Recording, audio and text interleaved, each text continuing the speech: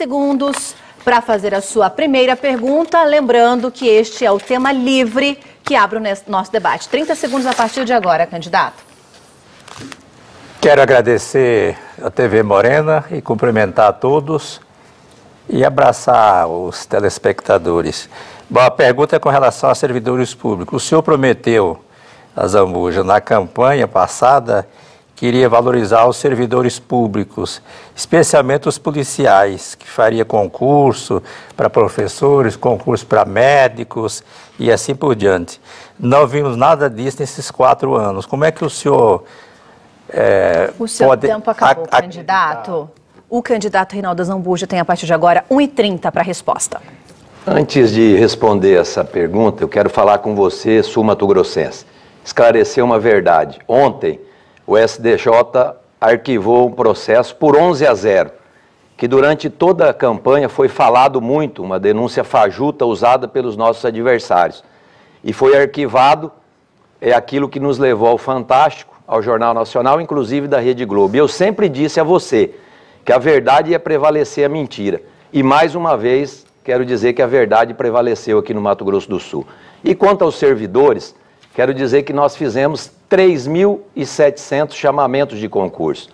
Chamamos, enfrentamos a maior crise, valorizamos vocês, diferente da maioria dos estados, 20 nem consegue pagar a folha, nós pagamos em dia, fizemos progressões funcionais, herdamos os PCCs do governo anterior, que foram todos cumpridos no nosso mandato, e avançamos bastante. O Brasil vivenciou um momento extremamente triste. Essa crise afetou muito, mas nós avançamos fazendo com que as melhorias, 33% de aumento linear que foi dado praticamente para todas as categorias nesses três anos e dez meses, enfrentando um momento difícil. Fizemos o chamamento, e fizemos principalmente o atendimento a vocês, dialogando através do Fórum Dialoga, conversando com as categorias, atendendo os pedidos e avançamos muito hoje, principalmente com você, que é o maior ativo. O seu tempo acabou, tem. candidato. Muito obrigada. E agora tem um minuto para a réplica a contar a partir de agora. Azabuja, na verdade, você dialogou com os servidores públicos através de um instrumento chamado bala de borracha e do instrumento chamado bomba de efeito moral. Esse foi o diálogo. Você se fechou no seu gabinete e não deu atenção a nenhum segmento do serviço público. Houve desvalorização completa no período do seu governo a respeito dos servidores públicos, policiais militares. Quantos tem fazendo prestando serviço na cidade? em torno de, no Estado, em torno de 4.700. O ideal seria o dobro, segundo o próprio Estado. Quanto ganha um administrativo na escola pública? Menos de um salário mínimo. Escola pública estadual. Quer dizer, essa é a valorização. No meu governo, eu vou proceder com diálogo, conversar com todo o segmento da sociedade e com todo o segmento do serviço público. Um minuto para a tréplica. Falando com você, servidor público, e você, cidadão e cidadã do Mato Grosso do Sul, tem candidato, que é o candidato salvador da pátria, que promete, é o famoso Sassamutema, que promete tudo e não dá conta de cumprir quando assume o governo, como aconteceu na maioria dos estados brasileiros. Aqui sim nós tomamos atitudes, enfrentamos as reformas estruturantes, diminuímos o tamanho do Estado, valorizamos vocês com diálogo, Avançamos nas categorias, o plano de cargos e carreira do administrativo já vai ser votado, da educação. Vamos incorporar o abono que foi dado, que foi um meio que a gente achou para poder fortalecer naquele momento difícil ali do ano de 2016, enquanto estava a maior crise no país. Então os avanços foram importantes. Agora, tem pessoas que prometem e quando assumem não dão conta de cumprir. Nós não prometemos, nós dizemos que íamos dialogar, avançar com as categorias, avançamos e cumprimos todos os planos de cargos e carreira com todos vocês. Candidato pela ordem, agora é o senhor quem faz a pergunta e o senhor tem 30 segundos a contar a partir de agora. Tem candidato que faz propostas mirabolantes, às vezes até distantes da realidade. E eu queria perguntar ao candidato Odilon, nós temos um orçamento para o ano que vem de 15 bilhões e 48 milhões, é o, o orçamento para 2019. Dentro dessas propostas mirabolantes que eu vejo no seu plano, plano de governo, como você vai gastar esse dinheiro e quais são as suas prioridades? Um minuto e trinta para a resposta, candidato. A primeira prioridade, logicamente, prioridade geral, é proteção do orçamento. Então, nessas prioridades, uma relação de prioridades, isto é, uma relação de diretrizes. Primeiro, zerar a corrupção, acabar com a corrupção no nosso Estado. Isso é fundamental. Porque se não acabar com a corrupção, nós vamos ter o orçamento corroído, continuar com ele corroído. Então, eu, no meu governo, vou ter tolerância zero com a corrupção. Nós temos que desburocratizar, nós temos que reduzir os custos do Estado. O Banco Mundial publicou um relatório sobre o preço da administração no Brasil, incluindo Mato Grosso do Sul, muito cara. Nós temos que desestimular a sonegação, não é perseguir o comerciante, o pagador de imposto. Vamos desestimular com incentivo, não só incentivos fiscais, não. A, a, empresa tem que ser parceira do Estado e o Estado parceiro das empresas. E outra coisa é prioridade. Prioridade.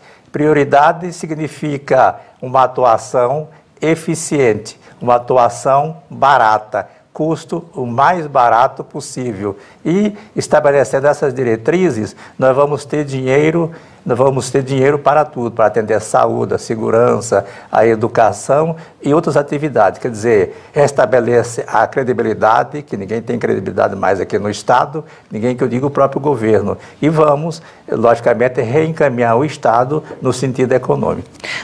Um minuto para replicar. O candidato ele não falou praticamente nada sobre a minha pergunta, mas nós sabemos que dos 15 bilhões e 48 milhões, nós temos que pagar os poderes, nós temos que pagar a Assembleia Legislativa, nós temos que quase 5 bilhões é com o serviço da dívida e poderes constituídos, nós temos os recursos que são vinculados na educação, na saúde, que são obrigatórios constitucionalmente, isso deve ser cumprido. E você viu aí que não tem, ele, ele diverge muitas vezes, ele não, não foca para dizer, olha, eu vou cumprir essa promessa mirabolante fazendo esse orçamento e aplicando nisso aqui. A palavra que usa corrupção, corrupção. Corrupção é obrigatório o combate em qualquer governo, em qualquer instância. Também no judiciário, que nós vemos muitos casos de corrupção. Então, é obrigatório combater isso, mas o mais importante é você ter foco aonde você vai aplicar os recursos públicos e principalmente as prioridades que vão ser transformadas em benefícios para vocês. E agora, um minuto para a tréplica a partir de agora. Azambuja, o que você disse aí é o óbvio. A própria, o próprio orçamento dá traz essas diretrizes onde se vai aplicar. Claro que você tem que aplicar na educação. É evidente que você tem que aplicar na saúde, a saúde pública, que está uma calamidade. A saúde pública no Estado, ela está na UTI. É lógico que tem que aplicar na segurança pública. É lógico que nós temos que incentivar o turismo. É lógico que nós temos que aplicar, digamos assim, na educação. A educação também está uma calamidade, a educação pública, não por conta dos professores. Os professores são até heróis nacionais, como eu costumo me referir a eles. E costumo me referir também aos policiais e aos servidores públicos do Estado. Isso é evidente, o que você disse aí consta do orçamento, não precisa nem repetir isto. Eu citei as diretrizes gerais para a proteção dos 15 bilhões de reais. E agora, pela ordem do nosso sorteio, quem faz a pergunta é o candidato Juízo de Lom. Eu lembro a você que está em casa, o nosso tema é livre, os candidatos podem fazer a pergunta que quiserem. Candidato, o senhor tem 30 segundos a partir de agora. Bom, com relação a, aos conflitos indígenas, conflitos indígenas, conflito com o setor do agronegócio. Eu quero perguntar ao candidato quais são as providências que ele vai adotar para solucionar essa questão no nosso Estado. O senhor tem 1 minuto e 30 para a resposta. As providências que nós adotamos nesses três anos e dez meses foi principalmente, primeiro criamos a Subsecretaria de Assuntos Indígenas, levamos o governo para dentro das aldeias. Durante os três anos e dez meses, nós tivemos só duas invasões. Distensionamos a, a discussão entre, entre é, produtores e indígenas. Fizemos o PROASIM, que é o Programa de Apoio às Comunidades Indígenas, que levou sementes, assistência técnica, tratores, ajudou a desenvolver atividade turística, ajudou a desenvolver a atividade do artesanato. E isso diminuiu muito a tensão. A questão do conflito, quando você vai com as duas partes e trabalha principalmente com as etnias e com as comunidades indígenas, você diminui. E é o que aconteceu no Mato Grosso do Sul. Vocês que acompanharam no governo anterior, no qual tem o apoio aí o nosso candidato adversário, do ex-governador André, teve 102 invasões. Nós tivemos duas no nosso governo. E por quê? Porque nós dialogamos com as comunidades, conversamos com os dois lados, procuramos distensionar e criando a subsecretaria e o programa estadual de apoio às comunidades indígenas, avançou bastante as políticas públicas. E feito isso, a gente conseguiu distensionar no campo. Sabemos que isso depende muito das questões federais, principalmente da questão do marco regulatório, que está lá para ser definido no Supremo Tribunal Federal. Mas acredito que com os avanços nós diminuímos a tensão no campo aqui no nosso estado. A partir de agora, candidato Odilon tem um minuto para a réplica. Oh, você, Reinaldo, você repete as mesmas promessas nesse, durante essa campanha, as promessas que você fez na campanha anterior. E, logicamente, nada foi realizado. Com relação aos conflitos indígenas, isso tem sido permanente aqui no nosso Estado. Não é só no seu governo, no governo do André ou no governo do Zeca do PT. É evidente que não houve apenas duas invasões. E é evidente que, é, além das invasões, houve muitas ameaças e isso torna, ameaça de invasões, isso torna o meio rural inseguro. É, é evidente que essa insegurança ela traz um prejuízo, um prejuízo econômico muito grande. Quer dizer, e o investimento? desvaloriza a terra. Então não houve efetivamente apenas duas invasões, ou invasões de duas fazendas. Na verdade, houve mais conflitos indígenas aqui no estado, que é o estado que concentra a maior, a segunda maior população indígena do, do Brasil. E agora, um minuto para a tréplica. 102 invasões ocorreram nos governos anteriores. Nós tivemos duas, porque nós fizemos política pública. Nós levamos às comunidades indígenas o apoio do governo do Estado e distensionamos. Conversamos com os dois lados, com o setor produtivo e com as comunidades indígenas. E eu vejo que você não tem conhecimento nenhum do que ocorre no Mato Grosso do Sul, principalmente adentrando as políticas públicas. Criamos uma subsecretaria que todas as etnias têm assento lá para discutir os avanços que eles querem, ouvir das comunidades indígenas o que, que eles têm como prioridade e, em paralelo a isso, sentar com o setor produtivo para a gente distensionar. Propus ao governo Dilma usar o dinheiro da dívida que nós pagamos para indenizar os produtores das áreas que estão invadidas. Não tive nem resposta, mas acho que isso é uma boa saída, candidato. Nós temos hoje mais de 100 propriedades invadidas nos governos anteriores e se nós pudermos usar o dinheiro da dívida para indenizar, a gente praticamente acaba esse conflito e essa briga que Muito obrigada, candidato. E olha, pelo sorteio é o senhor quem faz a próxima pergunta no tema livre. 30 segundos a partir de agora. Nós temos alguns projetos que são estruturantes no Mato Grosso do Sul e que eu vejo que eles vão contribuir muito para o desenvolvimento do nosso estado. Então eu gostaria de perguntar que nós temos o projeto da Transamericana.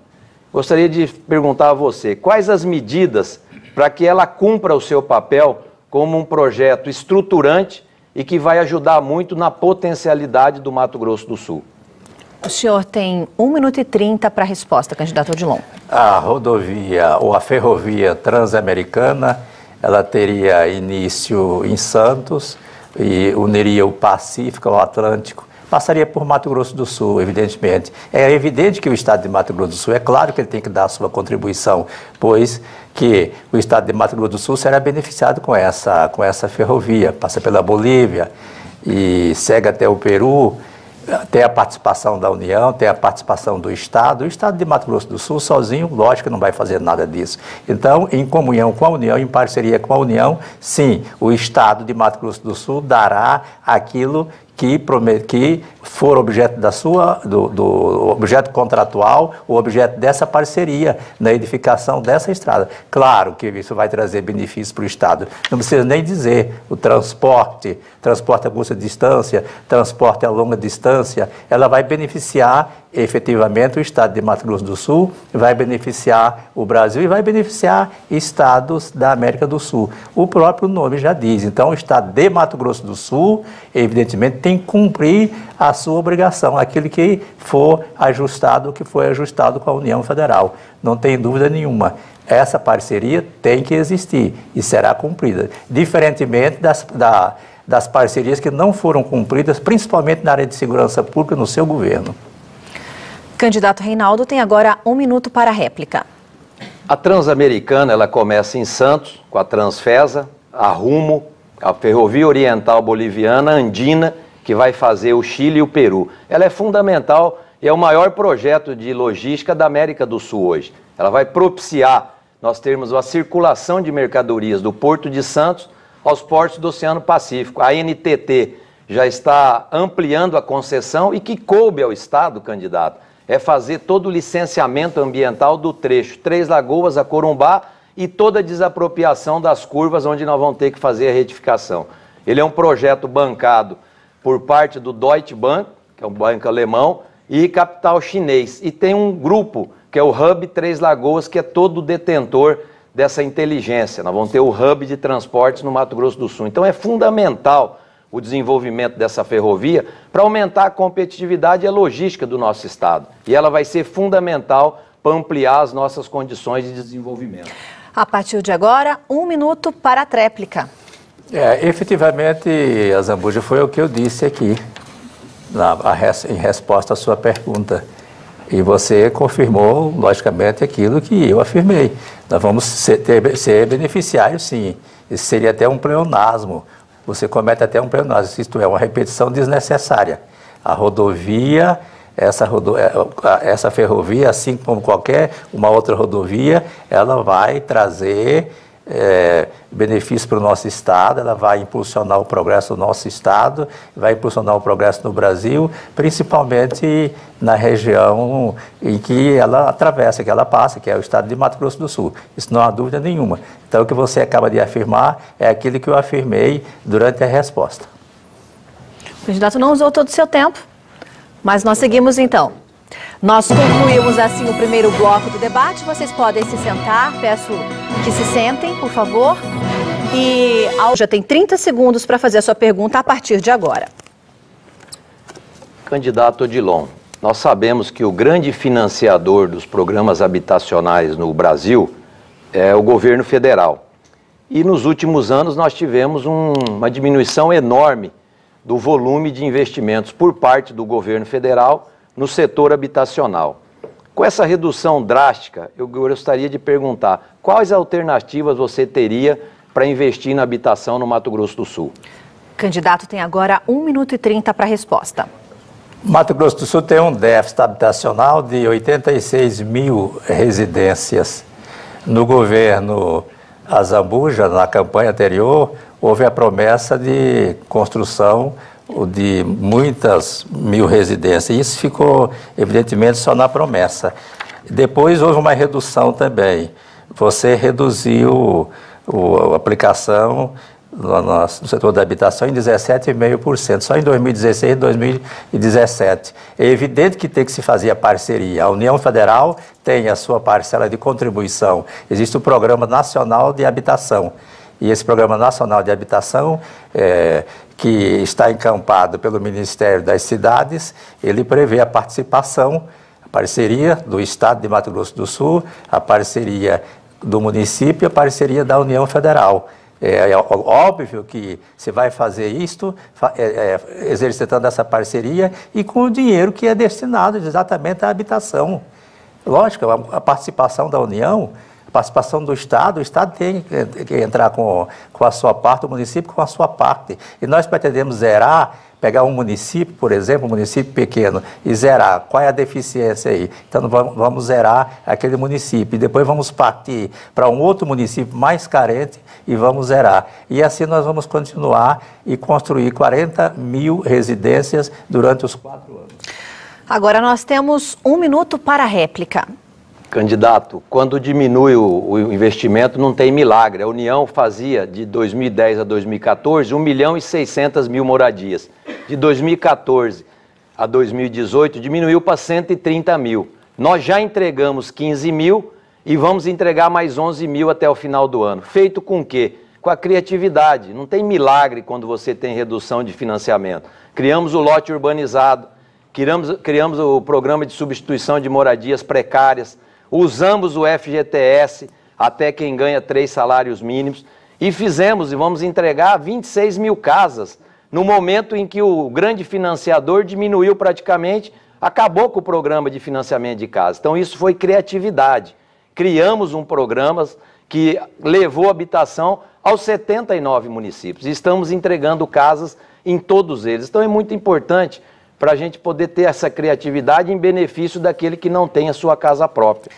E agora um minuto para a tréplica a partir de agora. Na verdade, a sua criatividade, ela não englobou, por exemplo, os gastos com publicidade. Você fez propaganda o tempo todo da sua pessoa. 252 milhões, segundo o portal Transparência se houvesse uma redução de 80%, tivesse havido uma redução de 80% na publicidade, quer dizer, dinheiro jogado fora na maior parte, não na totalidade, aí sim você teria tido criatividade. Você teria tido criatividade e você teria respeitado o princípio constitucional da prioridade. Quer dizer, não gastar com propaganda desnecessária com publicidade desnecessária, da habitação, da dignidade ao povo, por precisa de habitação, dignidade. Qualquer governo tem que ter por alvo principal, por alvo principal, o ser humano. Então, Azambuja, faltou criatividade sua nesse sentido. Faltou, digamos assim, maior lisura. Obrigada, candidato. Eu vou fazer o sorteio do próximo tema.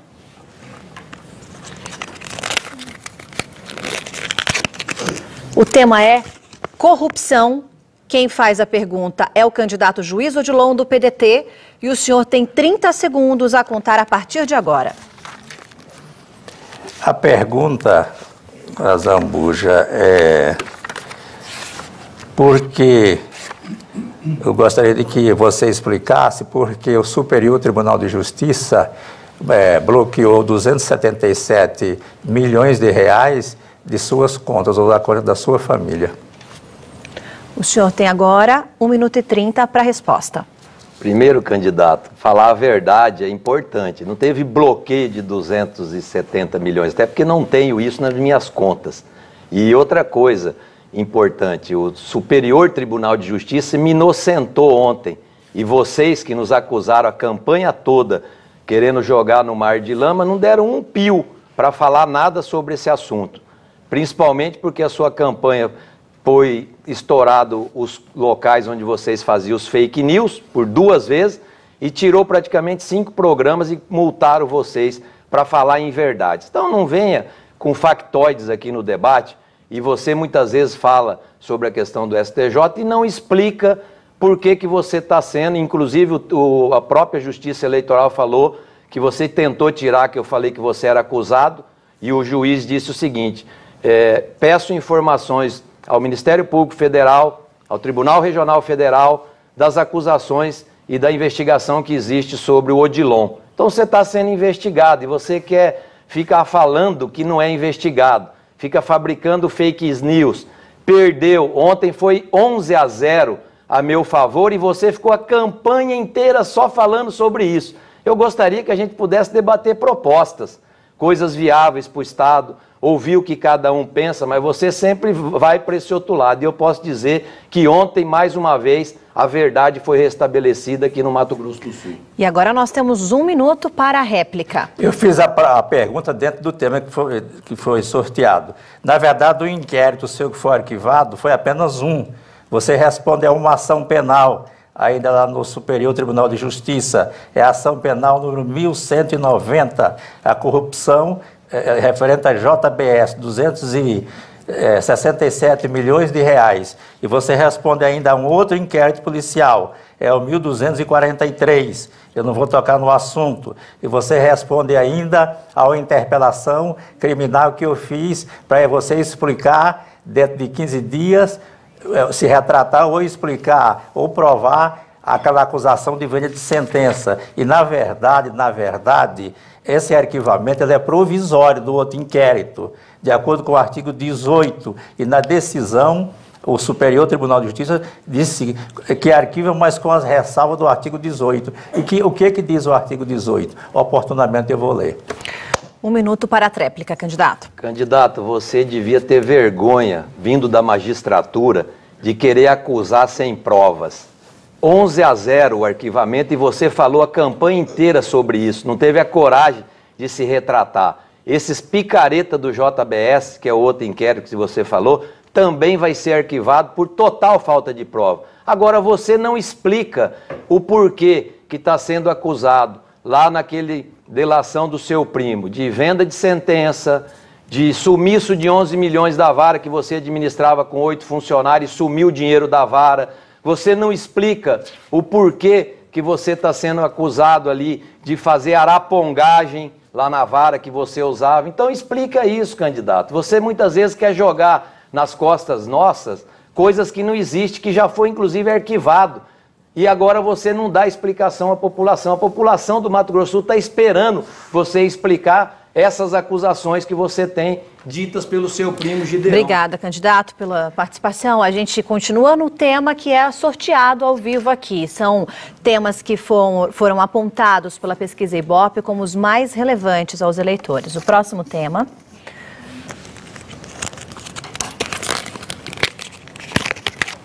Geração de empregos. Pelo nosso sorteio, quem faz a pergunta é o candidato Reinaldo Azambuja, do PSDB. 30 segundos a partir de agora. Candidato, nós temos no Mato Grosso do Sul a segunda maior geração de empregos do Brasil. Enfrentamos uma crise enorme nesses últimos anos. Tivemos aqui no Mato Grosso do Sul o estado onde mais cresceu a renda do trabalhador. Enquanto 22 estados caiu a renda, só cinco estados aumentar, e um deles foi Mato Grosso do Sul. O que mais você faria para gerar empregos aqui no Estado? O senhor tem 1 minuto e 30 para a resposta. Desemprego no Estado. 118 mil, quer dizer, 118 mil famílias estão passando fome no estado de Mato Grosso do Sul. Nós temos que incrementar a economia, claro, porque senão não vamos gerar empregos. Mas nós temos que profissionalizar também, profissionalizar o jovem. A legislação impede que a pessoa trabalha com menos de 16 anos de idade, a não ser que seja um estagiário, um aprendiz. Então nós temos que profissionalizar, profissionalizar o nível médio, criar escola profissionalizante. Mas nós temos mesmo é que incrementar a atividade econômica, incrementar através de incentivos, incentivos fiscais, incentivo fiscal não com corrupção, incentivo fiscal de maneira limpa, com lisura, com honestidade.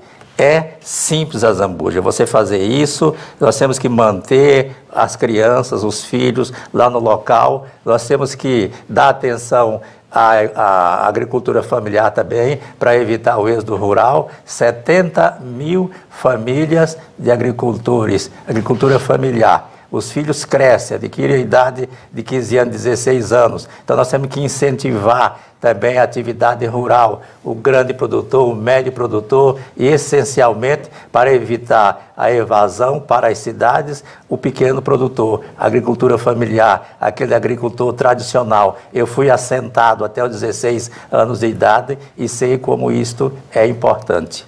Candidato Reinaldo, um minuto para a réplica. Candidato, a gente não faz geração de empregos com varinha mágica, a gente faz com atitudes. E as atitudes que nós tomamos, mesmo na crise, a maior da história do Brasil, colocou Mato Grosso do Sul hoje como segundo estado positivamente em geração de empregos. A maior renda do trabalhador aumentou foi no nosso estado. 28 bilhões em investimentos, fábrica de proteína de soja, transformação do milho sendo transformado em produtos acabados, a primeira fábrica de MDF em Água Clara. Reformulamos aqui no núcleo industrial e criamos uma estrutura de mais de 700 milhões, a maior planta de proteína de soja e óleo vegetal sendo construída em Dourados. Isso tudo com um programa de incentivos dos mais modernos do país. Nós geramos mais de 12.500 empregos nesse momento extremamente difícil do nosso país. Então, não tem varinha mágica, é tomar atitudes e fazer um programa como nós fizemos, que avançou o emprego no Mato Grosso do Sul. Um minuto para a tréplica. Varinha mágica, claro que não tem. Essa quantidade de emprego que você está citando aí. E como é que explica 118 mil famílias sem emprego, sem trabalho? A sociedade quer saber disso. Essas pessoas estão desempregadas querem saber disto. E voltando aos inquéritos lá do, do Superior Tribunal de Justiça, ação penal 1190, JBS, permanece lá sim. E o inquérito policial 1243, JBS. Esse que foi arquivado, foi arquivado, mas com ressalva do artigo 18, diz a decisão. Depois de ordenado o arquivamento do inquérito policial pela autoridade judiciária por falta de base para denúncia, a autoridade policial poderá proceder a novas pesquisas, se de outras provas tiver notícia. E é isso que a Polícia Federal está fazendo. Então foi uma, um arquivamento, digamos assim, provisório. Eu atuei como juiz durante muito tempo e sei como funciona isto. Você não está livre definitivamente. Obrigada, candidato. Eu faço agora o nosso último sorteio deste bloco.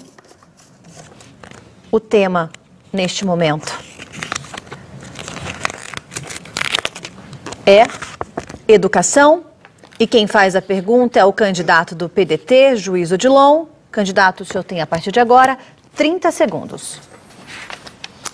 Zambuja, eu conheço bem a, as escolas estaduais e eu gostaria de saber qual é o seu projeto para a educação no nosso estado. Candidato Reinaldo, tem 1 minuto e 30 para a resposta. Primeiro, nós pegamos aqui, candidato, Mato Grosso do Sul como um dos piores salários de professor do Brasil. E hoje nós já temos o melhor salário de professores do Brasil. Por quê? Porque nós fizemos uma valorização do magistério. Avançamos nos programas que são fundamentais, como matrícula digital, Mira Educação, que combate a evasão e a repetência. Fizemos o programa AJA, que é avanço dos jovens na aprendizado, para não deixar os jovens para trás na aprendizagem e avançamos muito, principalmente na restauração das nossas escolas. Das 366 escolas, 243 passaram por algum tipo de melhoria. E agora nós conseguimos um empréstimo que vai levar a todas as outras que não tiveram condições de fazer acessibilidade, melhoria, restauração e, colocar ar-condicionado nas escolas. Pactuamos com os administrativos da educação para a gente incorporar o abono e aprovar o plano de cargos e carreira. E fizemos tudo isso num momento extremamente difícil. Muita gente prometeu o melhor salário, nós cumprimos o melhor salário de professor do Brasil. E junto com isso, avançou o aprendizado. Poucos estados tiveram as notas do IDEB. Um dos poucos foi Mato Grosso do Sul, que avançou nas séries iniciais, finais e no ensino médio. E mais do que isso, implantamos já 54 escolas em tempo integral. E nas escolas em tempo integral é onde nós temos o maior aprendizado dos alunos da rede. Muito obrigada, candidato. E agora nós temos a réplica e a réplica tem um minuto a partir de agora. Melhor salário do Brasil. Isso não é verdade, isso não é realidade. O estado do Maranhão é que paga o melhor salário do Brasil. E, na verdade, ainda que pagasse o maior salário do Brasil para professor, isso não é criação sua. Isso veio de governos anteriores. Você está apenas cumprindo a sua obrigação. Então, não existe essa de querer é, se vangloriar dizendo que é o melhor salário do Brasil. Depois, o Sistema Nacional de Avaliação do Ensino Básico colocou o Estado de Mato Grosso do Sul em, em terceiro lugar de, da frente para trás. Isso é, só perde em português para o estado do Amazonas e para o estado do Pará. Escola de tempo integral. Eu conheço, você sabe disso, num programa que eu frequentei como voluntário através da sua Secretaria de Educação. Escola de tempo integral. É evidente que essas escolas não foram perfeitamente adaptadas para essa modalidade de ensino. E eu vou fazer isso. A nossa tréplica também tem um minuto a contar a partir de agora. Candidato, a, o governo anterior aprovou a lei e nós mudamos a lei para poder pagar o melhor salário do Brasil e cumprir a lei, que não foi cumprida no governo anterior. E mais do que isso, o Maranhão já te disse, só paga para 7%, se informe melhor. Nós já falamos tantas vezes, nós pagamos para 100% dos professores da rede pública aqui do Mato Grosso do Sul. E os avanços da escola em tempo integral, eles são fantásticos. Não tinha nenhuma escola em tempo integral quando começou nosso governo. Hoje nós temos 54 instaladas e nós vamos implantar em todas as regiões adaptando as escolas e levando o, o ensino integral com entendimento, com esporte, com entretenimento, com lazer, para a gente poder avançar o aprendizado dos alunos. A educação pública é o todo, é o salário, é a escola, é o aluno, é a formação continuada, e isso tem sido feito, por isso que nós temos uma das melhores educações públicas de todo o Seu tempo acabou, candidato. Obrigada. E eu quero pedir para que vocês se sentem, descansem, porque nós temos mais um intervalo para você que já está nos acompanhando desde o início. Alda Zambuja. Candidato, o senhor tem 30 segundos para fazer a sua pergunta a partir de agora. Candidato, nós temos um programa que chama Caravana da Saúde. Herdamos do governo anterior, do ex-governador André, que lhe apoia, 70 mil pessoas estavam na fila para fazer uma cirurgia. Até o dia de hoje, nós já realizamos mais de 67 mil cirurgias. E eu vi alguns posicionamentos seu sobre a caravana. Eu queria que você falasse a Mato Grosso do Sul. Realmente é verdadeiro que você eleito, você vai acabar com a caravana da saúde? Candidato Odilon tem 1 minuto e 30 para a resposta a partir de agora. Dei algumas entrevistas com relação à caravana da saúde. Agora, houve pensamento de determinadas partes, determinados textos da entrevista, e ali, com esse pensamento, foi criada uma conotação completamente diferente. A caravana da saúde, ela não pode permanecer como está. Ela apenas se limita a fazer cirurgia de catarata e dá as costas para o município, para o paciente e deixa lá o paciente sem acompanhamento. O que nós temos que fazer é melhorar, ampliar a caravana da saúde.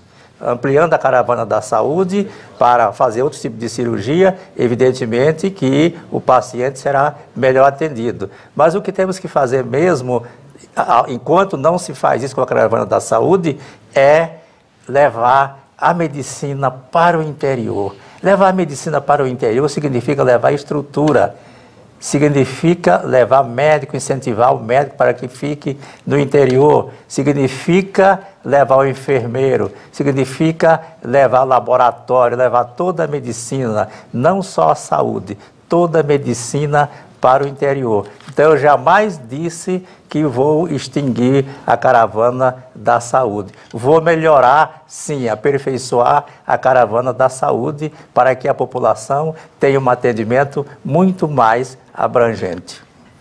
Agora é hora da nossa réplica e nossa réplica tem um minuto a partir de agora. Candidato, eu ouvi da sua boca você dizendo que iria acabar e fico contente vendo que você voltou atrás, porque reconhece que a Caravana da Saúde é um bom programa. E não foi só catarata. Foram 37 mil cirurgias de catarata e as outras 30 mil, candidatos, são cirurgias ortopédicas, ginecológicas, cirurgias urológicas de N especialidades. E ela foi feita para tirar a dor e o sofrimento de pessoas que estavam na fila. É uma enormidade de pessoas que estavam sofrendo. E eu fico muito contente de ver que você mudou de posição. Porque eu vi você falando, eu vou acabar com essa caravana da saúde, porque isso não atende. Atende sim. E no meu programa de governo, tendo a regionalização que nós estamos completando nas regiões, nós vamos continuar com a caravana da saúde. Enquanto tiver uma pessoa candidato na fila, nós vamos manter a caravana da saúde, tirando a dor e o sofrimento das pessoas aqui do Mato Grosso do Sul. Na tréplica também temos um minuto e a contar a partir de agora, candidato Dilon. O que houve, na verdade, Azambuja, foi uma interpretação distorcida, feita por equipe sua. Então você está navegando no mar de ilusão. Eu nunca disse isso, nunca afirmei que acabaria com a caravana da saúde. Eu sempre afirmei que a caravana da saúde, como está, ela não pode permanecer, ela tem que ser muito mais abrangente. Isto foi o que eu disse, sempre repeti isto. O problema é a distorção da verdade. E a gente tem verificado isto com frequência nas suas propagandas. Você mostra na televisão uma saúde de primeiro mundo. Agora pergunte ao paciente, pergunte à população se é aquilo que efetivamente você mostra na televisão, se é aquilo é realidade. E a resposta todos nós sabemos qual será. Quem faz a pergunta agora é o candidato do PDT, juiz Odilon. O tema é livre, o candidato pode perguntar sobre o que quiser, 30 segundos a partir de agora, candidato. Volto a insistir na corrupção, que causa uma angústia. Os processos que continuam no CNJ, no, no Superior Tribunal de Justiça. A Polícia Federal já vem atuando com frequência há um bom tempo na governadoria do Estado, nas repartições. Como é que o senhor reage diante do fato do seu governo estar perdendo a guerra contra essa corrupção? O senhor tem 1 minuto e 30 para a resposta. Candidato, eu não tenho nada a esconder. Eu falei na abertura do debate aqui, a população do meu estado, do arquivamento do processo, que é um desses que você falou. Só falta um, que é o do JBS, dos picareta, que vai ser arquivado também. Agora eu gostaria que você falasse da venda de sentença, do sumiço do dinheiro lá do cofre da sua sala, que tinha um cofre, sumiu 11 milhões e você não fala, da arapongagem, das vendas de sentença para traficantes, que liberou um dos maiores traficantes da América do Sul, o Jarvis Pavão, e você liberou sentenciando ele. Essas coisas você não fala. E teu primo, Gideão, escreveu ali um rol de denúncias falando como era a sua conduta, que se esconde atrás, que eu te chamei de camaleão, porque você se esconde. Eu não tenho nada a esconder. Minha obrigação é prestar contas a Mato Grosso do Sul, à população do meu estado, e eu estou fazendo foram lá na governadoria, não levaram nada porque nós não temos nada a esconder, nem na minha casa. Agora, você se esconde, candidato, você não presta contas, você não fala sobre esse assunto. Parece que você se envergonha de ter visto seu primo Gideão fazer uma delação das, do modus operantes que você tinha na vara federal que você administrava. E por que, que você está sendo investigado no TRF-3, no CNJ? no Ministério Público Federal e você fala que pediu para ser investigado. Isso é conversa fiada. Explica para a população do Mato Grosso do Sul essas investigações. Ok, seu tempo você. acabou, candidato. Um minuto para a réplica a partir de agora, candidato Odilon. Zambuja, você, eu desafio a você a exibir número de qualquer processo que eu responda dessas instituições. Pelo contrário, eu não posso mostrar documentos aqui. Eu tenho certidões negativas de tudo isto. E Gedeão é uma pessoa que está a seu serviço. Ele veio lá do estado de Mato Grosso, aqui para Mato Grosso do Sul, exatamente dois anos depois que eu coloquei na rua por ladruagem. E veio exatamente a troca de quê? Para servir a quem? Servir a mim não foi. E é evidente que a Polícia Federal já deu o resultado, 31 de agosto deste ano. Ah, não, tá, não tem nada o que investigar. Delação de Gedeão não foi aceita pelo Ministério Público, a OAB se manifestou e a Polícia Federal disse que não tem prova nenhuma. E eu próprio requeri. E não obstante, eu não posso mostrar aqui, mas está aqui. Vou mostrar só o lado em branco do papel. Eu próprio requeri. O seu tempo acabou, candidato. Obrigado. E agora um minuto para a tréplica. Eu não vou mostrar as certidões, porque elas são todas negativas, as minhas. As suas eu não sei. Porque você saiu recentemente do judiciário, você só sabia sentenciar os outros. E agora você não é mais juiz. Agora você tem que dar satisfação a Mato Grosso do Sul e você se esconde. Esse Gideão é seu parente, é seu primo. Ele abre a delação sobre você, dizendo que vocês vieram juntos, o pai dele e você lá do, do Pernambuco. Então explica, candidato. Não fica se escondendo igual camaleão. Você quer jogar uma culpa ficou impressionado com o arquivamento por 11 a 0 de um processo que você ficou a campanha inteira falando que ia acontecer isso, que ia acontecer aquilo, a instância maior arquivou. O do JBS vai arquivar também. Presta contas a Mato Grosso do Sul, não se esconde igual camaleão como você está fazendo. Você está denunciado, você está sendo investigado por vender sentença, por sumir o dinheiro do cofre da sua sala. Explica Mato Grosso do Sul. Bom, Candidato Reinaldo Zambuja, quem faz a pergunta neste momento, o senhor tem 30 segundos a partir de agora. Eu quero falar um pouquinho sobre as contradições do candidato. Ele hoje ele recrimina a questão dos auxílios, mas ele quando era juiz recebia auxílio moradia, mesmo tendo casa própria. Hoje ele diz que apoia o Bolsonaro, mas o partido dele pede a cassação do Bolsonaro. O deputado do partido dele falou que o Bolsonaro não tem competência nem para administrar Jaraguari. Total de respeito à cidade e ao candidato. Como você explica esse mar de contradições? Candidato, candidato tem a partir de agora 1 minuto e 30 para a resposta a contar agora. Eu usaria os mesmos argumentos pelos quais você se aliou a Zeca, Zeca do PT e ao Vander. Então, isso, a contradição maior, ela está aí. E, voltando ao, ao assunto anterior, e você disse que eu explicasse melhor, então eu volto aqui para explicar. Braspele, incentivos fiscais. Esse inquérito que foi arquivado provisoriamente recebeu incentivos fiscais. E logo que recebeu incentivos fiscais, mudou o depoimento.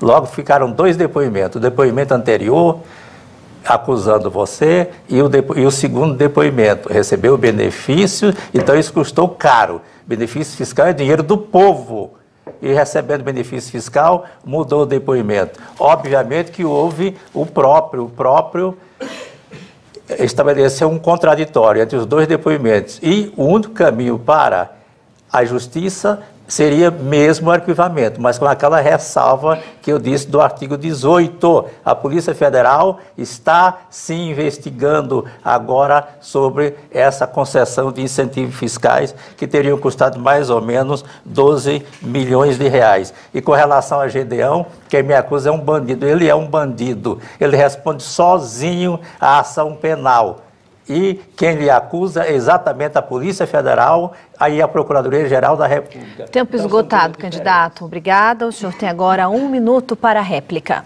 Candidato, de novo, você não explica nada, Mato Grosso do Sul. Eu só estou te pedindo para você explicar. Fala das acusações que você tem e você fica se escondendo igual camaleão. Não explica, Mato Grosso do Sul. Quem deu incentivo fiscal para o Braspele, que agora o STJ arquivou, foi seu companheiro André Putinelli, que te abraçou. Eu não posso negar apoio, mas você fez um acordo formal com o PMDB e de novo não explica. De novo não explicou por que, que você, que se diz todo o paladino da moral, recebia auxílio moradia, mesmo tendo casa própria, candidato. E depois que você incorporou auxílio moradia no seu vencimento de aposentado, você diz que isso é uma excrescência e uma vergonha. Por que, que você não abriu mão se você é tão moral assim quando você recebia. Então não vem querer pregar de moralista. O que eu estou pedindo é para você explicar para a população do Mato Grosso do Sul e até agora você não fez. Candidato tem, por fim, um minuto para a tréplica. Auxílio moradia. Todo juiz recebe auxílio moradia de acordo com a lei complementar número 35. Então tem que alterar a lei complementar número 35. Aí sim, deixa de receber auxílio moradia se for alterada. Agora, auxílio moradia não se incorpora. Auxílio moradia é coisa diferente. Você não entende disso. Você nunca leu a lei complementar número 35. Isso não há incorporação nenhuma. Eu fui para a aposentadoria ganhando metade do que eu ganhava antes, que é um salário, digamos, até grande para os padrões brasileiros. E com relação à delação de Gedeão, você tem Gedeão, acorda com Gedeão na cabeça, dorme com Gedeão na cabeça e se eu disser que de delação, se seu próprio filho, que é diferente, o primo, o parente está em quinto grau, o seu filho é filho, e de repente se ele fizer uma delação familiar, como você já se referiu no debate anterior? Bom, o candidato juiz Odilon foi o último que respondeu. A gente segue já para a nossa última rodada deste bloco. E é o senhor mesmo quem faz a pergunta. Candidato juiz Odilon tem 30 segundos para fazer essa pergunta a partir de agora.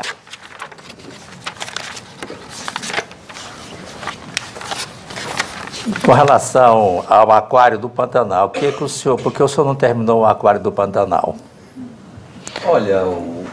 Só um minutinho, candidato, deixa eu fazer para a gente poder arrumar o nosso cronômetro. Vamos zerar o cronômetro que está na tela ali, para a gente tentar colocar 1 minuto e 30 a partir de agora para a resposta. O candidato perguntou sobre o aquário do Pantanal. Eu, em 2014, já me manifestei a você, Sumato Grossense se tivesse que gastar dinheiro público, eu gastaria em hospital, gastaria em creche, gastaria em escola e nunca em aquário. A decisão de construir o aquário foi do André Putinelli, aliado aqui do meu adversário, e contratou por 88 milhões a obra. Gastou 203 milhões. Deixou 39 e que está guardado numa conta. Aquele dia você perguntou, eu estou te respondendo, está numa conta guardada. E por que, que nós não terminamos ainda o aquário do Pantanal? Porque se eu gastar esses 39 lá no aquário e ser responsabilidade pelas maracutaias que fizeram do passado, nós podemos criar um impasse jurídico. Então entramos na justiça. Agora, recentemente, o desembargador Marcos Brito fez uma decisão ali favorável ao governo do estado. E eu não tenho dúvida nenhuma. Primeiro, é um absurdo gastar mais de 200 milhões num aquário. E quem gastou foi seu aliado André Putinelli. Está sob investigação da Polícia Federal, Ministério Público Federal, Tribunal de Contas e Tribunal de Contas da União. Então, eu quero dizer a você, assim que a justiça disser que nós não somos responsáveis pelo que aconteceu no passado, você não tenha dúvida, até o aquário do Pantanal, mesmo sendo contra, nós vamos terminar para não deixar nenhuma obra inacabada no Mato Grosso do Sul. Agora nós temos um minuto para a réplica do candidato juiz Odilon a contar a partir de agora. Em primeiro lugar, eu não fiz aliança com o André Putinelli. Você fez aliança sim com o Zeca do PT. E Zeca do PT sofre a, acusação da mesma natureza que você sofre. Não precisa nem dizer qual é aqui. Aquário do Pantanal, quatro anos parada ali a obra. Quatro anos parada a obra. Muitos, muitas peças ali já não servem mais com o decurso do tempo. É evidente que poderá haver uma responsabilização civil da sua pessoa e você responder por omissão. A justiça jamais vai autorizar a realização, conclusão de obra sem licitação. Serviço público, aquisição de serviços públicos, aquisição ou realização de obra tem que se fazer através de licitação. Então, esse negócio de ir para a justiça, isso é apenas uma enrolação, pedir que a justiça autorize a fazer, a concluir a obra sem licitação. Isso não se justifica. Agora nós temos um minuto final, que é o minuto da tréplica, a contar a partir de agora. Candidato, eu sei que você fica meio envergonhado de ter o apoio do André Putinelli, mas o MDB declarou apoio oficial a você. E você lá agradeceu ali dentro do diretório. Acho que isso a população está vendo. E quem declarou apoio a você também foi o candidato Humberto Amaduce, do PT.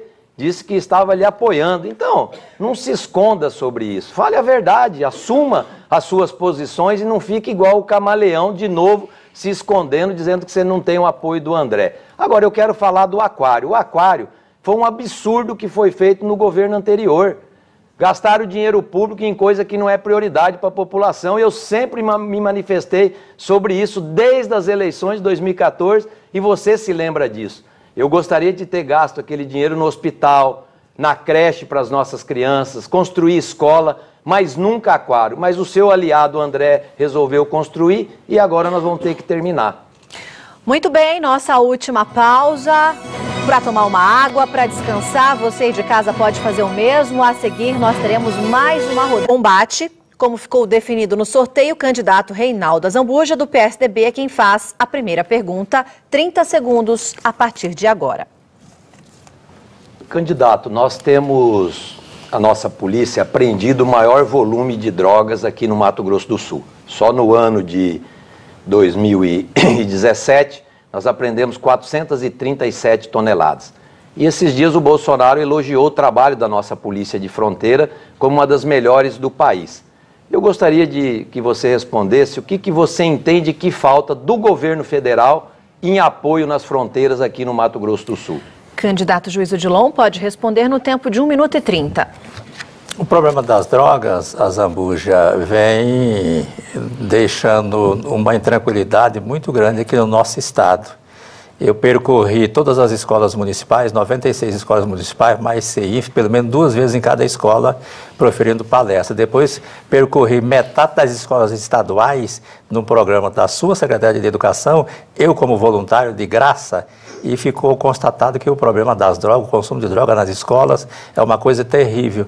De 15, 15% dos estudantes que usam droga estão comprando droga dentro da própria escola. Isso é um reflexo, logicamente, do seu governo, da sua omissão.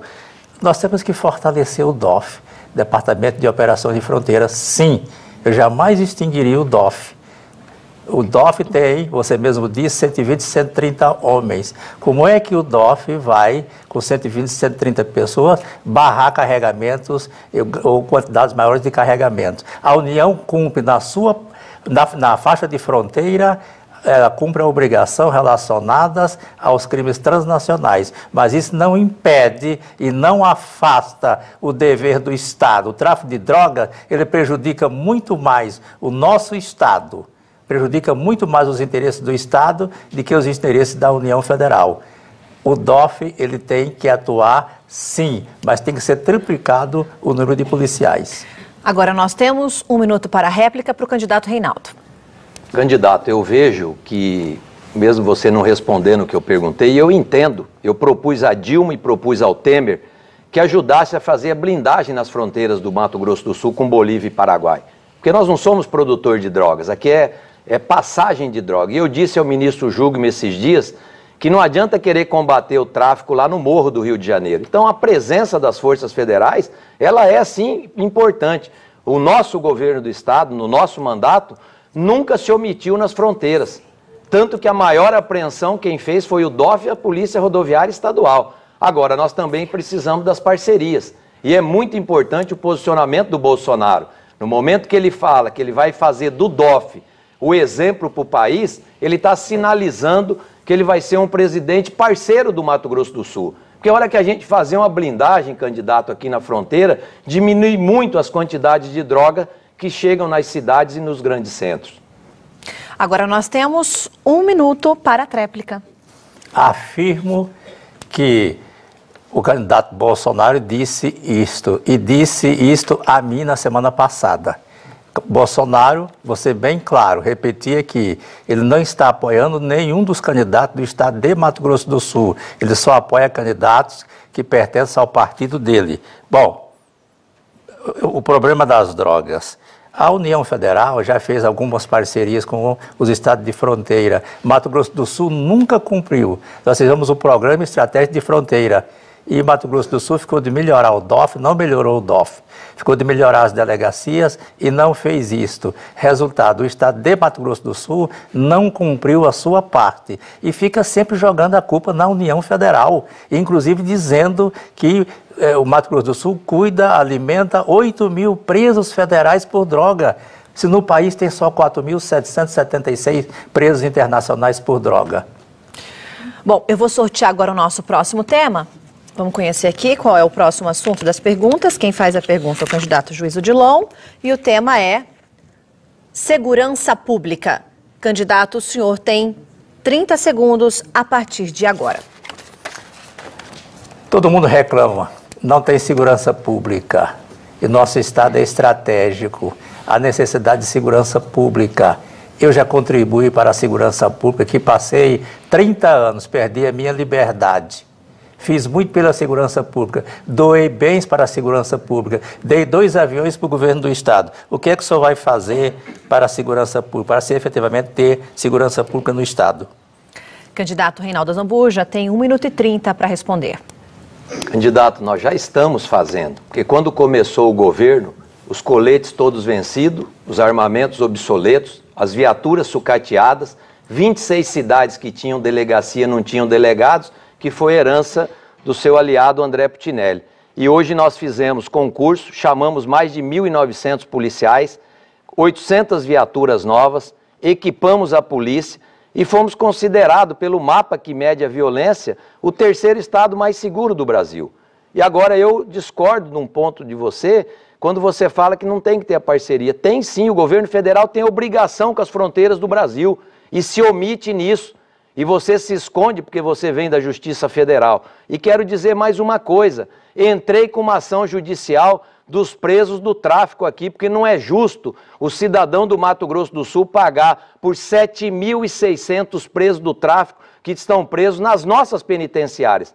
Está sobre a relatoria do ministro Fux lá no Supremo, porque não é justo o cidadão do Estado pagar por isso. Agora, nós não omitimos na segurança. Hoje só tem cinco estados no Brasil que diminuiu os crimes contra a vida. Um dos cinco, Mato Grosso do Sul. Isso feito por quê? Investimento o programa MS Mais Seguro levou a segurança, colocou os delegados, todas as cidades hoje que têm delegacia têm delegado. E nós vamos continuar investindo. Tem muito a se fazer, mas não dá para esconder que muito foi feito. Tempo esgotado, candidato, e agora nós temos um minuto para a réplica a partir de agora. Governador fake. Eu acho que seria o nome adequado. Porque tudo que o senhor fala, tudo que você fala, fala, fala, não fez nada disso. Continua mentindo, efetivamente mentindo. Mentiu que quem deu incentivo, quem renovou o incentivo fiscal para a Braspel não foi você. Claro que foi você. E você só não falou agora, nessa sua manifestação, só não me chamou de camaleão. Porque toda hora me chama de camaleão. Quem é o camaleão? Sou eu o camaleão ou é você que é o camaleão? Eu, se tivesse o direito de escolher, de escolher o nome de um animal para você, eu não escolheria camaleão. Eu escolheria um que tem um formato bem diferente, chamado rato. Encerrei. E agora o candidato Reinaldo tem um minuto para a tréplica. É que quando eu lhe chamo de camaleão é porque você se esconde, você muda conforme te interessa. E eu quero dizer para você que quem deu o incentivo, você está equivocado, sua assessoria te informou mal. Foi o André Putinelli, sim. Eu não assinei nenhum incentivo com esses do Braspel que você falou, que inclusive o STJ já arquivou. Mas voltando à segurança pública, eu gostaria de debater propostas. Se nós não tivéssemos feito o que nós fizemos, candidato, Mato Grosso do Sul talvez estaria no caos, como o Rio de Janeiro, como tantos estados brasileiros. Eu sei que você não gosta de ver as boas coisas que acontecem, porque você teria que elogiar o nosso governo, que enfrentou a questão segurança pública com muita responsabilidade. Melhoramos para os policiais, fizemos as progressões funcionais, tenho compromisso com os bons policiais e nós temos um compromisso com as categorias, tanto do policial civil como dos militares, do bombeiro militar. Já disse isso e vamos cumprir com a categoria. Seu tempo acabou, candidato. Agora eu faço mais uma vez o sorteio. É o senhor mesmo quem faz a pergunta desse próximo tema. E o tema é saúde. Candidato Reinaldo tem 30 segundos para fazer a pergunta a partir de agora. Eu eu tenho visto, candidato, que o senhor está dizendo e criticando muito a questão da saúde, dizendo que, que vai mudar tudo, mas eu gostaria de saber, vai mudar tudo o quê? Você pelo menos tem conhecimento quanto custa para a gente manter um hospital regional? Quanto que é os recursos que nós teríamos que disponibilizar? E quando você fala mudar tudo, o que, que você vai fazer então na saúde do Mato Grosso do Sul? Candidato Dilon tem 1 minuto e 30 para responder. Na verdade, Azambuja, mudar tudo significa primeiro fazer aquilo que você prometeu e não fez. Porque a população de Mato Grosso do Sul, nos últimos quatro anos, na área de saúde, viveu de ilusão, de esperança. E além de ilusão e esperança, viveu de choro, de tristeza pela perda de pessoas da família. Três Lagoas é um exemplo da semana passada morreu uma criança, por quê? Porque não tinha vaga para se internar. Então nós temos que modificar. Você não fez. O Hospital de Ponta Porã, por exemplo, você deu um investimento lá de mais de 20 milhões de reais e em seguida privatizou a administração. O Hospital de Dourados, cadê o Hospital de Dourados? Cadê a maternidade de, de, de Corumbá? Cadê o Hospital de Corumbá? Eu estive em Corumbá umas duas vezes Cadê o, o acréscimo que você faria no hospital regional daqui de Campo Grande, que recebe paciente do interior? Ali está se escolhendo pela vida e pela morte de acordo com a idade ou a gravidade da doença, da doença do paciente. Então, na verdade, você não fez nada na área de saúde. E respondendo, o que, que nós vamos fazer? Nós temos que regionalizar a saúde. Você regionalizou só no papel, não fez absolutamente nada. Saia às ruas e consulte a população e você já sabe de antemão qual será a resposta. Candidato, candidato Reinaldo tem um minuto para a réplica a partir de agora. Candidato, mais uma vez eu vejo que você não tem conhecimento nenhum. Hospital do Trauma, 21 anos, terminamos, equipamos e entregamos. Ponta Porã, só tinha o prédio, hoje tem UTI e atendimento. Coxim, não tinha nada, só o, o prédio. Hemodiálise, tomografia, cirurgias eletivas. Dourados, estamos construindo o hospital, mas locamos o Hospital São Luís e estamos fazendo 300 cirurgias por mês. Lá em Três Lagoas, que você falou que era só pedra fundamental, eu entrego ano que vem, em maio, o Hospital Regional da Costa Leste. Santa Casa de Corumbá, 11 milhões e 200 na conta da prefeitura, candidato. Porque eles ficaram de fazer a licitação e agora o prefeito está dando ordem de serviço para maternidade, pronto-socorro e mais 36 leitos. E mesmo na dificuldade e na crise, entregamos 197 leitos. Foi o único governo que entregou leitos novos. Então, isso é a regionalização e é a nossa proposta para a saúde. E agora temos um minuto para a tréplica, candidato. Segundo, segundo, a sua fala e segundo a sua propaganda, eu volto a dizer: Mato Grosso do Sul estaria vivendo na área de saúde como um país de primeiro mundo, um país da Europa. Na verdade, não é isto. E como é que você explica os atrasos no repasse para a saúde? Eu estive em Paranaíba e verifiquei lá no hospital e a reclamação é o governo do estado não repassou ainda a parcela do mês de julho de 2018. Deveria repassar até o dia 15 de agosto. Não fez isso. E como é que o hospital sobrevive? Tem hospital aí, na verdade, Azambuja, fazendo rifa, fazendo vaquinha para sobreviver. Eu ouvi isto e ouvi em mais de um hospital. E lá Paranaíba é um exemplo dessa vaquinha, pedindo a solidariedade das pessoas, da comunidade. Esta é a realidade nua e crua. Estamos seguindo já para o final do nosso debate. Eu faço agora o último sorteio, o único papel que sobrou aqui para mim na minha caixa. E o nosso tema é Impostos e taxas. Pela ordem do sorteio, quem faz a pergunta é o candidato juiz Odilon. O senhor tem 30 segundos a partir de agora. Qual é o seu projeto, a sua promessa, digamos assim, para a redução de tributos aqui no Estado? O candidato tem agora 1 minuto e 30 para a resposta. Candidato, nós pegamos o governo no pior momento da história do nosso país, que impôs a nós ter que tomar atitudes extremamente duras. Reforma administrativa, reforma da Previdência, fizemos um teto de gastos aos poderes. E mesmo assim, enfrentando toda essa dificuldade, fizemos desonerações. Hoje, Mato Grosso do Sul, só três estados brasileiros diminuíram a carga tributária em relação ao PIB. Um dos três é Mato Grosso do Sul. Fizemos a desoneração do diesel. Temos a menor alíquota hoje do Brasil, se igualando ao estado de São Paulo, 12%. Acabamos com o ICMS garantido. E hoje a gente tem a proposta, candidato. Se não votar a reforma tributária nacional do imposto sobre valor agregado, todos os municípios que fazem fronteira com os outros estados, nós vamos igualar as alíquotas do área de supermercado, de vestuário e no setor de material de construção. Por quê? Porque ICMS é uma legislação estadual. E quando você tem alíquotas diferentes de um lado e do outro, você acaba tirando competitividade. Não deu para fazer antes devido à crise e principalmente à responsabilidade, porque governar exige responsabilidade, não é só a falácia, não é só o discurso fácil, tem que dizer da onde que vai fazer e como vai fazer. Então, eu tenho compromisso agora como a nossa proposta de igualar a questão tributária nos municípios que fazem fronteira com os outros estados. É hora da nossa réplica. Um minuto para o candidato juízo de Lom a partir de agora. É a mesma, mesma resposta de sempre. Aí dá para se fazer uma pergunta à população. Tem como acreditar no candidato Reinaldo Zambuja? Diesel. Prometeu na campanha do governo, na campanha passada. Vamos reduzir e reduziu por seis meses. Logo em seguida, passados os seis meses, voltou a alíquota. E a população, as pessoas comerciantes dessa região da costa leste e mesmo da região de fronteira aqui, foi penalizada, tremendamente penalizada.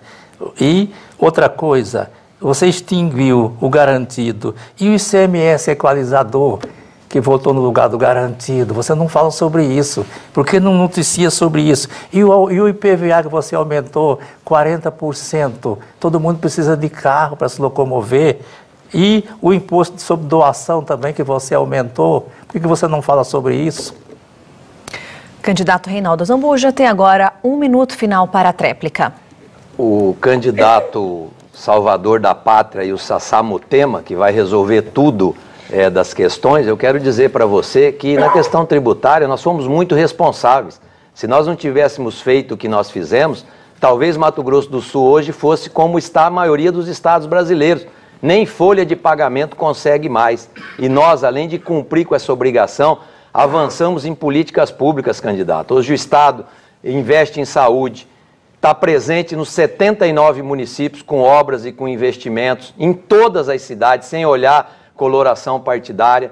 Melhoramos a segurança pública, temos muita coisa ainda a ser feita, isso é verdade. Reconheço que não deu para fazer tudo, mas fizemos muito mais do que muitos estados brasileiros. Por quê? Porque fizemos com transparência, com decência e com responsabilidade. Diferente de você que não conhece nada de gestão pública e se coloca como salvador da pátria. E isso, em política, em gestão Tempo encerrado, candidato. Obrigada. Nós encerramos as rodadas de perguntas do debate e agora abrimos espaço para as últimas considerações dos candidatos ao governo do Estado. A ordem desta etapa também foi definida por sorteio, um sorteio que foi feito anteriormente. Quem começa é o candidato do PSDB, Reinaldo Azambuja. O senhor tem dois minutos a partir de agora. Eu quero agradecer muito a você, Sul Mato Grossense, pelo carinho, por ter nos recebido tão bem, dizer que realmente nós fizemos um governo extremamente num momento difícil, mas não deixamos o Estado sucumbir à crise. O Estado avançou, diferente do que muitos falam, nós temos um dos melhores estados para se viver. enfrentamos uma campanha de muita intolerância, mentiras, inverdades, calúnias e difamação. Estamos aqui com vocês pedindo o seu apoio, olhando para você e principalmente não ganhar as eleições por ganhar, mas ganhar para continuar com a caravana da saúde, finalizar a regionalização, continuar como estado gerador de empregos e de oportunidades, sendo um dos melhores estados para se viver. É muito bom viver no Mato Grosso do Sul. A gente sabe que muitas vezes existem algumas deficiências, mas a nossa obrigação é corrigir as deficiências e fazer os avanços importantes para que a gente possa continuar como um bom estado para se viver. Sou muito grato ao carinho de vocês nesses três anos e dez meses.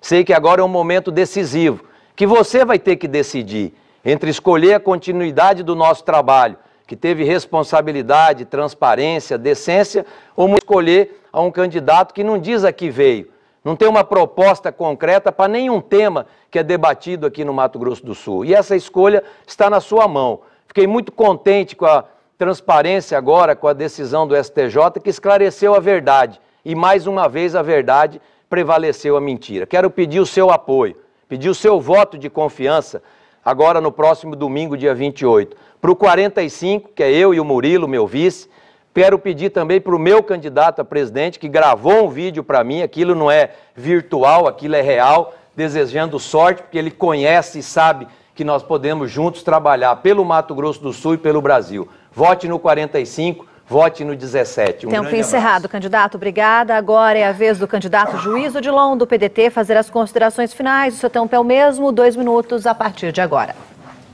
Quero o seu voto. Quero um reencontro com você no próximo domingo. E quero me encontrar também com aquelas pessoas que estão em dúvidas, inclusive com você que votou para o Azambuja, com todo respeito eu preciso do voto de vocês. Nós fizemos uma campanha de pé no chão, uma campanha pobre, uma campanha do, do tostão contra o bilhão. Enfrentamos o peso e suportamos o peso da máquina administrativa. É exatamente contra esse tipo de política e de políticos que a gente tem que lutar. Por isso eu preciso do seu voto preciso do seu voto para me tornar governador e passar esse estado a limpo. Nós temos que livrar, livrar o nosso estado do jugo da corrupção que traz fome, que traz miséria, que traz tristeza. Você que está me vendo aí, você está satisfeito com a saúde que você tem, a saúde pública, com a segurança você que está desempregado, você, servidor público, você que não tem onde morar, você está satisfeito? Qual é o estado que você quer? O estado de Mato Grosso do Sul é um estado com corrupção ou é um estado limpo? Agradeço o carinho que recebi. Nunca fui chamado de corrupto quando andei, andei, andei por todos os municípios desse estado.